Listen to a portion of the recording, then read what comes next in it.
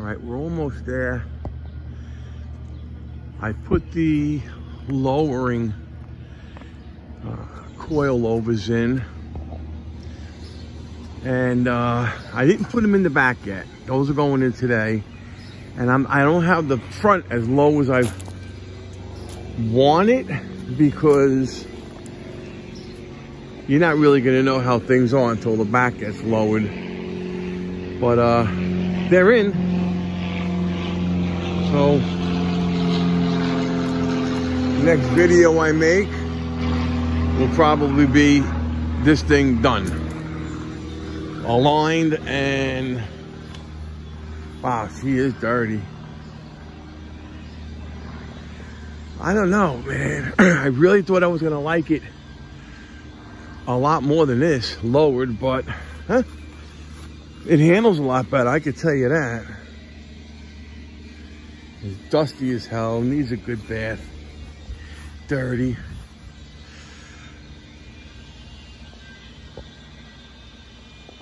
Ah.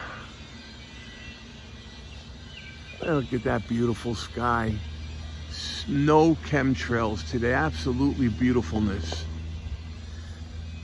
All right, so, so this is it so far.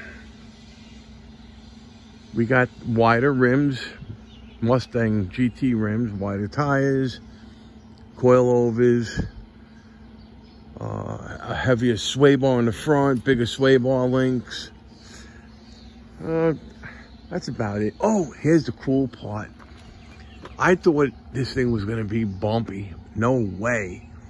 I have the front set on 10 out of 16, and I'm gonna do the same with the back. And uh, you hit bumps in the street, like, like you know, well, these roads are like ice. But you go up in the other part of the neighborhood, they get bumpy. And, you know, it's nice. It's like, but look at that little bird drinking. Yeah, little guy taking a bath. I don't take a bath in his yard. Yeah, cute little guy. anyway, yeah. So, I'll tell you what, it's definitely presenting a whole, a whole new problem. I had to go out and buy those ramps back there today because that's the only way I'm going to be able to change my oil. Uh, different ways to jack the car up now. Yeah, it, it, it changes it changes a lot of things, but I'm okay. I can still deal with that. But it definitely looks cool. A little dirty. So tonight we'll put the back coilovers in, all right, and then we'll adjust how low we want to go how high, whatever it is we're going to do. It'll be final. Then we'll get it aligned and we'll be good from there.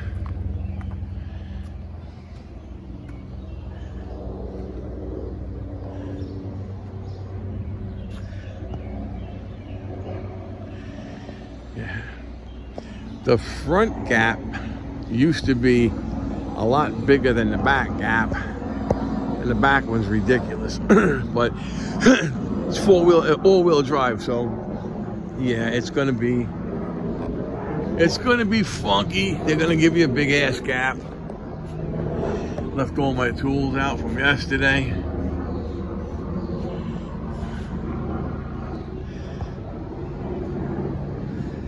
Yeah. Almost there.